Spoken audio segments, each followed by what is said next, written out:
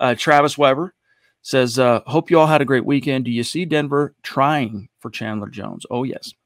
Since it sounded more and more that Von isn't, and are we bringing back Jewell or Johnson or neither?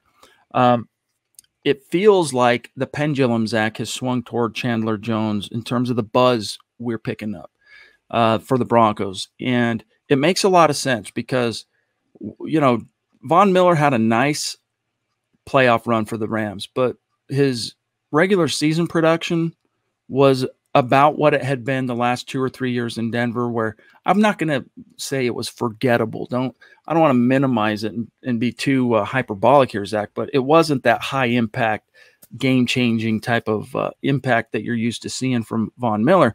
Whereas you look at Chandler Jones, Chandler Jones is a one year mercenary guy now. But when he signs that one year deal as a mercenary and he brings his weapons and he shows up with his you know, his uh, rucksack ready to go to war, you know you're going to get production out of him. He's going to give you double digit sacks.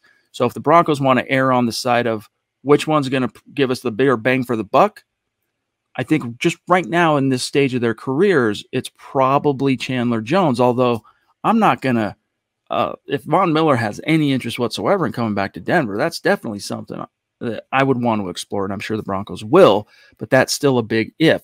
We're going to get some answers on that front, though, this week, Zack.